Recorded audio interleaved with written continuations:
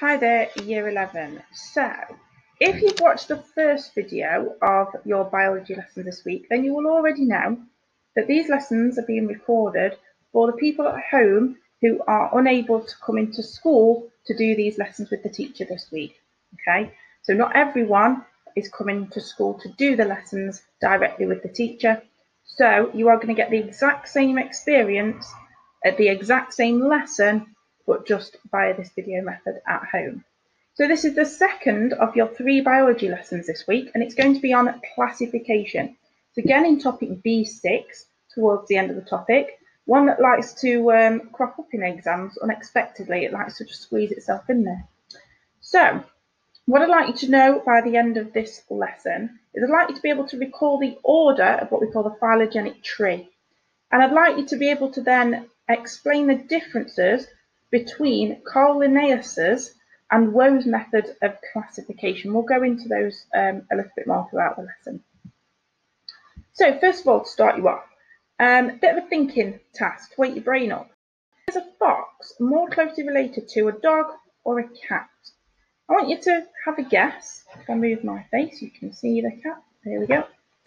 I want you to have a guess um, or an educated guess. I want you to give me a reason. Why have you chosen out, uh, why have you chosen which one it's most closely related to? Pause the video now whilst you do that. Okay, the actual answer is it's more closely related to a dog. We can see that from this phylogenetic tree, okay? So they are quite distantly related. You can see that there's many branches on this tree between the fox and the dog, but they do at some point have a common ancestor back here. So they are related, but um, they've evolved over time. Now, there's approximately 8.7 million different species of organisms on Earth put that into perspective, there's roughly just under a thousand students at Meden.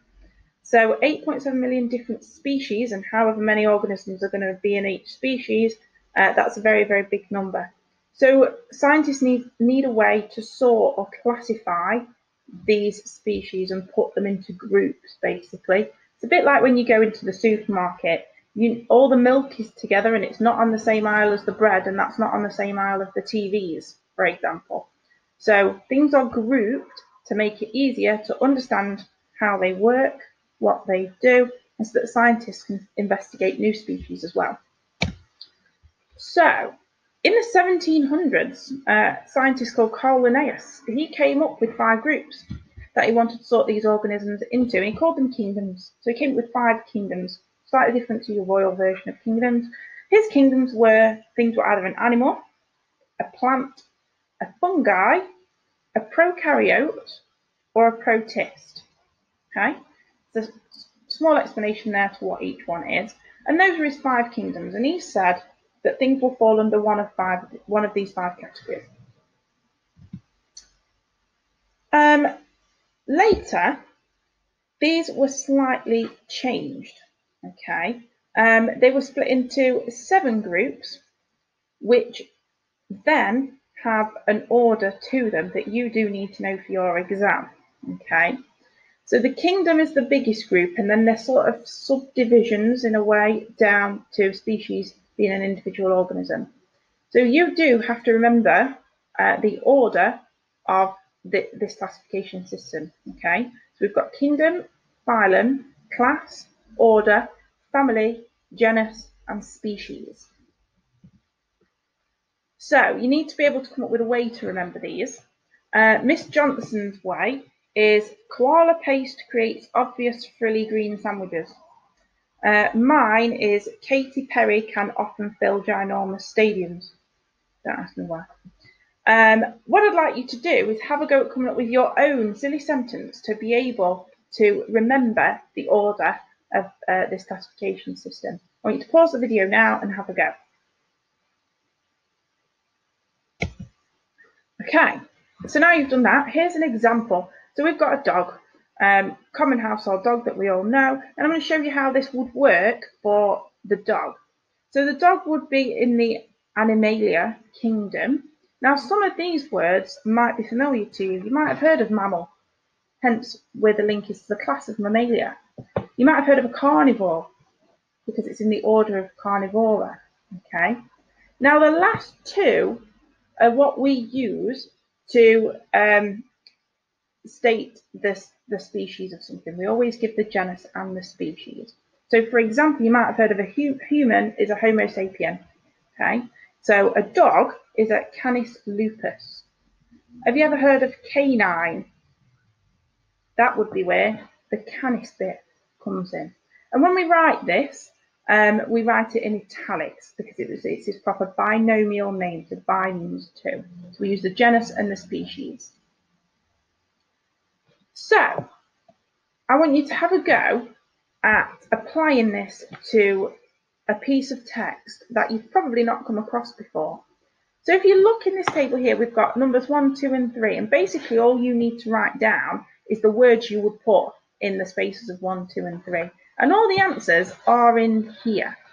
Now, this topic quite often scares people in the exam and they lose marks purely because they see words like passeriforms and think, I've never been taught that, so I won't be able to answer this question, I'll skip it. I've never come across that word. I, I struggle to even read it. So I've never come across it before. Does it then stop me answering the question? No, because all you need to do is infer the answers from this text here. So what I'd like you to do is pause the video and have a go at answering numbers one, two, and three for me. There is a link to a YouTube video if you want to find out a bit more information. Okay, and here's your answers. So the class is aves and it tells you in the text here.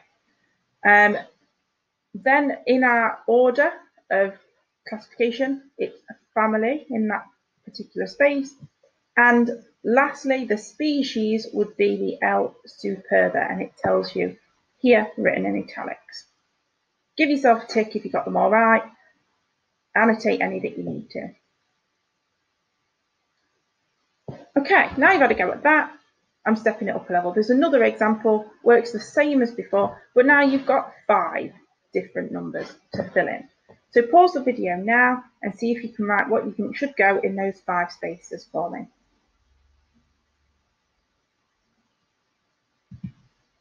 And here's your answers. Mark them, correct any that you need to. Give yourself a tick if you got them all right.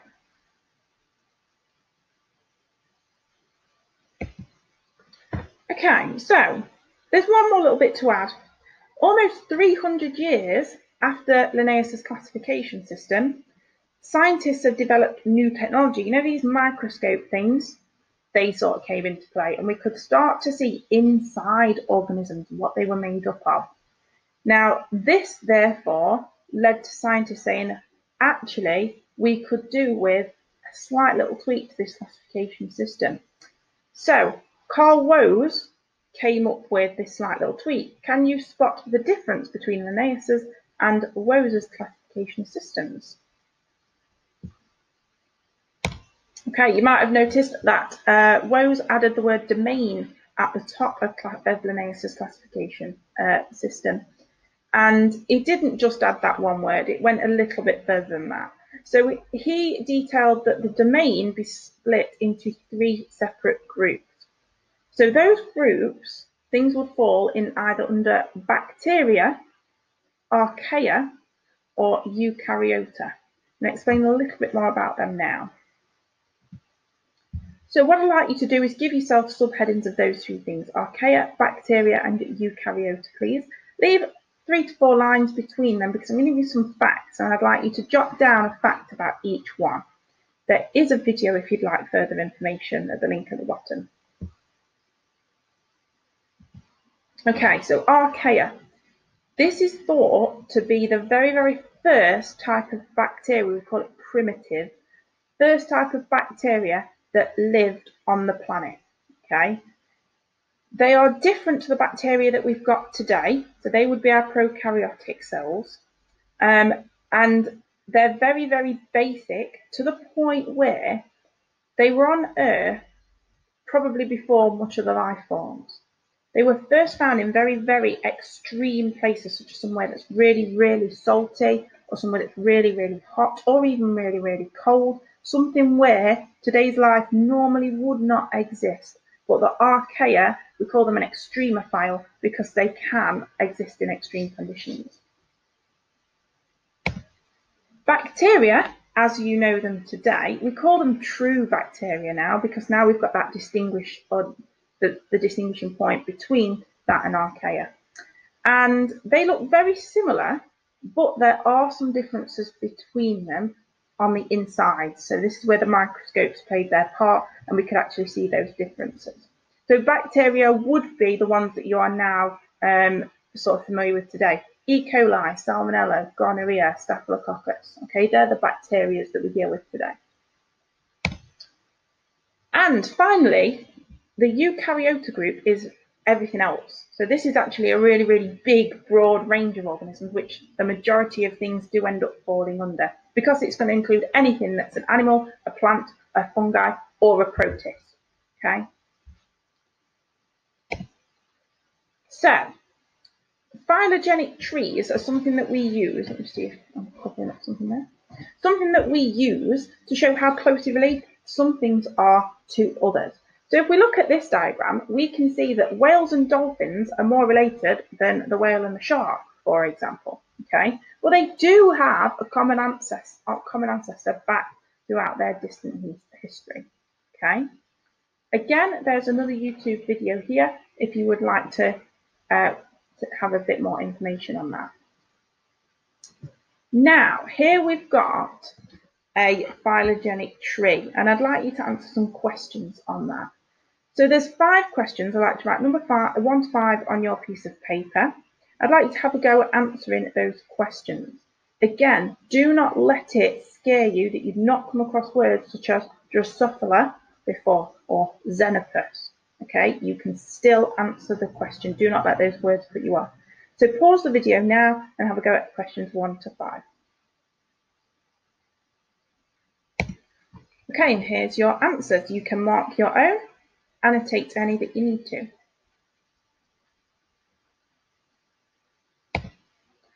Okay, and now we've got, it says at the top right, numbers one to five, I want you to write one to four.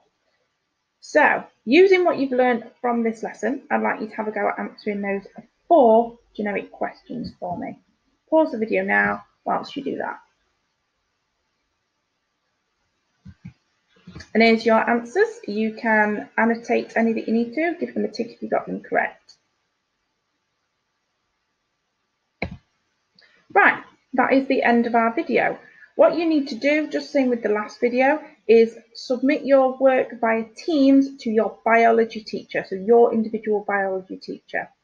If you are struggling with Teams, you may send it by email, but Teams is the preferred option. So please submit your work to this lesson your, your individual biology teacher via Teams. Thank you.